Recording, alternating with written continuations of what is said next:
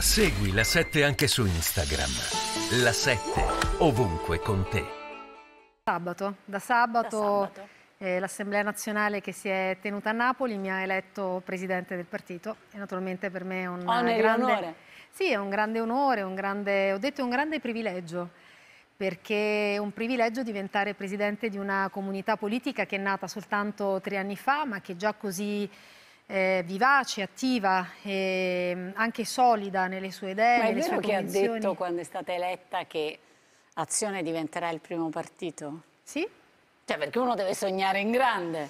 Io sono convinta che ci siano, che ci siano tutte le condizioni perché Azione diventi il primo partito italiano e, e lì in assemblea io ho, ho fatto riferimento a tre elementi che incoraggiano questa ambizione. È naturalmente un obiettivo molto ambizioso, eh, ne sono consapevole, ma non è un obiettivo impossibile e soprattutto un obiettivo necessario perché c'è bisogno nel nostro Paese di un partito di centro che dia equilibrio, stabilità al nostro sistema politico. Che non è più Forza Italia, per capirci? No, non è più Forza Italia. Forza Italia ha, ha rinunciato, ha rinunciato a esercitare quel ruolo. C'è bisogno di fare quello che non ha fatto Forza Italia, cioè c'è bisogno di salvare il Paese dagli opposti estremismi, non di accodarsi agli estremismi, di salvare il Paese da quei populismi. No, lei- per lei, per esempio, il PD è estremista?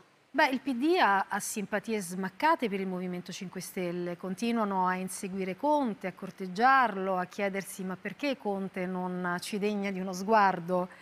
Eh. Eh, c'è un'anima, vede, il bipolarismo italiano, uno, uno dei tre elementi eh, che ho citato nel corso della mia relazione all'Assemblea che incoraggiano eh, il nostro impegno a fare di azione il primo partito italiano riguarda intanto il declino del populismo mondiale, no?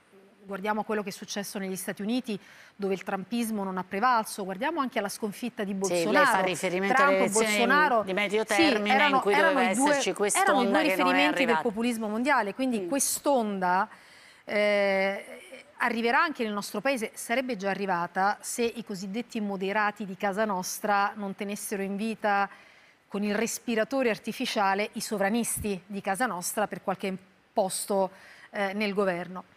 Eh, ma un altro elemento è la crisi del bipolarismo italiano, cioè il bipolarismo in Italia aveva un senso quando nel centrodestra, e si reggeva in equilibrio, quando nel centrodestra prevaleva l'anima liberale, moderata, e quando nel centro Cioè, quando Berlusconi aveva un ruolo di guida vera? Esattamente, quando nel centrosinistra prevaleva invece la trazione riformista. Adesso che invece liberali e moderati da un lato e riformisti dall'altro si sono ridotti un po' a fare le ruote di scorta no? dei, dei- dei riformi, dei populisti e dei sovranisti, allora i due schieramenti sono Cioè, diventati Letta come... fa la ruota di scorta di Conte? Guardi, ehm, allora Letta, Letta, mh, diciamo che ha preso una posizione che non si capisce che posizione è, ma quelli intorno a Letta però fanno il tifo perché il Partito Democratico riallacci l'alleanza Allora, con la- la Giuseppe un Conte. attimo Quindi perché finisco, finisco solo il ragionamento. Queste due, due gabbie ideologiche che sono i due schieramenti in realtà non rappresentano più moderati, riformisti, liberali, popolari, che sempre di più andranno in cerca di una casa. Quella casa c'è già. E lei dice, è la noi proponiamo la casa. E noi la rafforzeremo sempre di più e la renderemo Mi è accogliente. chiaro. Alessio? La prima notizia che voglio darvi, eh, vedete anche da- dal tablet, da iPad, a tre asterischi, significa in gergo che la notizia è importante. Eh, il deputato Abubakar